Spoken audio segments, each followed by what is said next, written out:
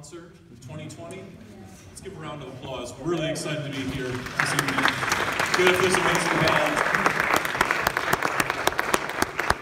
You may have already guessed, uh, but we have a really unique and special program to share with you this evening. Um, for those of you who, who may not know, this is Women in Jazz Month, uh, sort of globally in, in the field of jazz studies. And it's an opportunity to, to celebrate uh, female composers, performers, uh, artists of all stripes who have done so much for this music. And um, it's an important month, uh, particularly because of the fact that uh, women historically in this music have been underappreciated and oftentimes even written out of the jazz tradition and jazz history books. Um, an effort uh, since 2000 has kind of begun uh, at first sort of in starts and stops, but sort of has hit full swing, I think, uh, more recently, particularly over the past two years uh, when the We Have Voice collective uh, became a prominent uh, community activist group in jazz studies. Uh, for those of you who may be unfamiliar with We Have Voice, essentially it's a, a, collective which seeks to strive for gender equity and justice, both in colleges around the world, but also in the music industry, widely speaking. Um, it's an opportunity to reflect on the injustices done to women historically. And um, as I prepared uh, to program this concert, I was thinking very hard about how I wanted and what I wanted to present to you all this evening. Um, and so this program seeks to essentially uh, build a historical trajectory through jazz from the 1940s through the present day that currently doesn't exist. Um, one of the challenges that I asked our students up here on stage with you this evening to undertake is to go out and find where are female jazz large ensemble works? Where are they? How do we find them? How do we put together a repository of documentation uh, and music so that we here today aren't the only ones sharing this music, right? Um, especially at the high school and college levels oftentimes we're pulled in so many different directions, it can be really difficult to say, I want to program female music, but where can I find it? And I'm really honored to share with you tonight that E-Jazz Lines, um, which is one of the major publishing houses for large ensemble music and jazz, uh, has agreed with me. And we, if you go onto the E-Jazz Lines website right now even, uh, maybe after the concert, what you'll find is there is a brand new category entitled Female Jazz Composers that didn't exist up until this week. Um, so we thank the Jazz Lines for accepting the challenge, and uh, I hope that when we leave here tonight, that we keep that in mind. Um, personally, um, going into this concert, I felt like that might not be enough, honestly. Is it enough to program a single concert of uh, female composed music. Um, or once a year, we have a Women in Jazz Month once every 12 months, and I've decided, for me personally, I don't think that's enough. Um, some of my greatest mentors, Geri Allen and Amy Williams, uh, have taught me so much given me, shared so much of their gifts with me, um, and I've thought a lot about what I could do to try and give back to that tradition, a tradition that many have overlooked in the past. And so from here on out, uh, I want to sort of let the community know publicly that moving forward with all of the ensemble concerts under my direction, there will be an equal representation of male and female composers from now on my direction. Uh, so,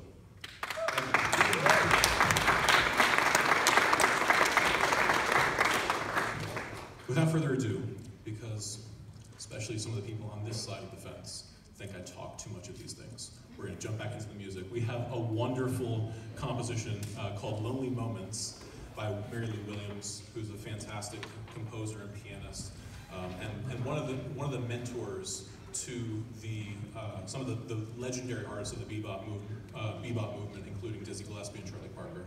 Without further ado, Lonely Moments.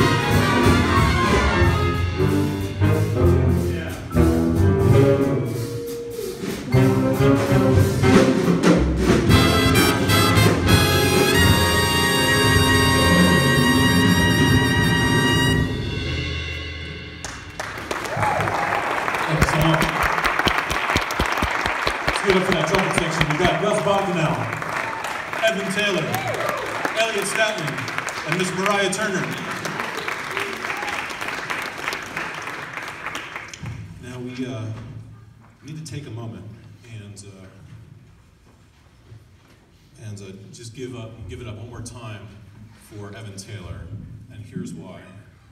He uh, he just won a very prestigious event. He's, he's moving on to the, uh, the International Trumpet Association competition. We're all really proud of the effort that he's been putting in this year.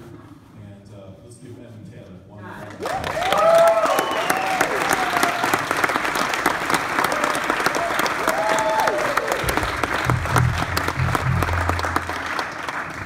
we need to give it up for Miss Alicia Wrigley one more time because it, I, know, I know and the, the reason is because uh, if, if you didn't catch her Gallivan Center performance earlier this year, um, she double dipped the chip. She, uh, she performed at Gallivan, Excellence in the Community, which was also uh, one of her uh, master's uh, recitals here at the U. And I'm really honored to share that that music will now be performed at a national conference, the Issues in Contemporary Jazz Conference, which actually is being hosted here at the, at the U this year. So let's give it up for Ms.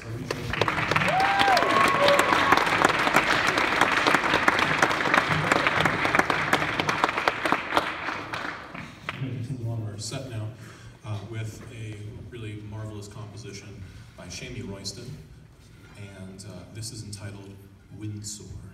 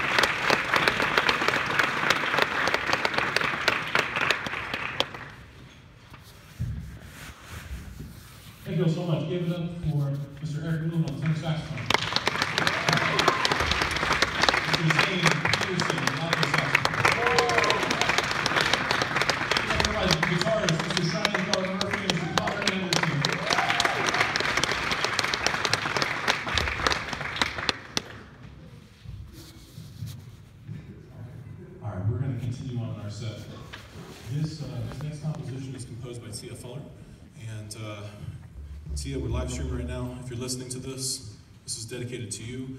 Uh, Tia is a, a really good friend of mine, uh, professor of music at Berklee College, and, um, and one of the, the newest members of the new uh, Jazz and Gender Institute uh, formed at Berklee under the leadership of Miss Terri Lyne Carrington. And I got a chance to perform this piece uh, with Tia this past year for the Green Country Jazz Festival.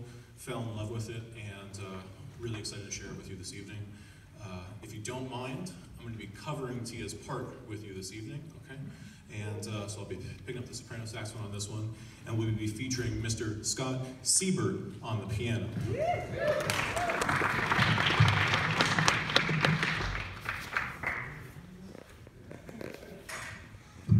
Okay, one quick amendment, okay? All year, I have been between Siebert and Seibert, and every time I go with my gut, I'm wrong. So I went with what I thought was, I thought was wrong, to try and make it right, and I still haven't quite done it. So let's give it up for Scott Seibert